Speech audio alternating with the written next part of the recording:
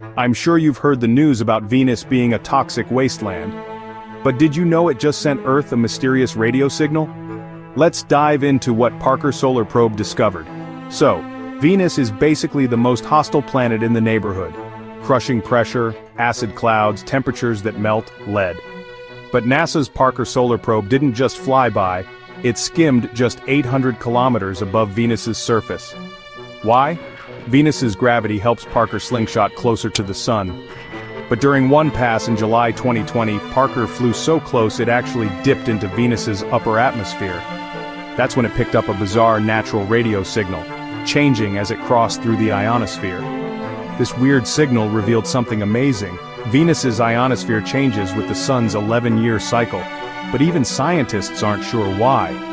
Figuring this out could finally explain why Venus became a nightmare world, while Earth became a paradise. If you want to explore Venus's secrets even more, check the pinned comment and hit subscribe, like comment and subscribe for more space mysteries.